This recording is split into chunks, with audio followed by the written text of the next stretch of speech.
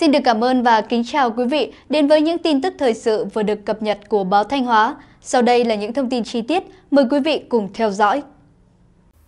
Ngày 12 tháng 6, cơ quan cảnh sát điều tra công an thành phố Hà Nội cho biết đã ra quyết định khởi tố vụ án hình sự mua bán trái phép hóa đơn, lợi dụng chức vụ quyền hạn trong khi thành công vụ xảy ra tại Tổng công ty Máy động lực và Máy nông nghiệp Việt Nam VEAM.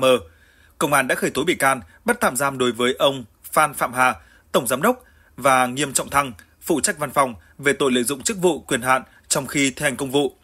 Về nguyên nhân bắt ông Phan Phạm Hà, Công an Hà Nội cho biết, theo tài liệu điều tra, Phan Phạm Hà đã chỉ đạo nhân viên cấp dưới kê khống giá trị hợp đồng, chỉ đạo lập hồ sơ thanh toán chi phí tiếp khách sai quy định, gây thiệt hại nhiều tỷ đồng cho công ty VEAM.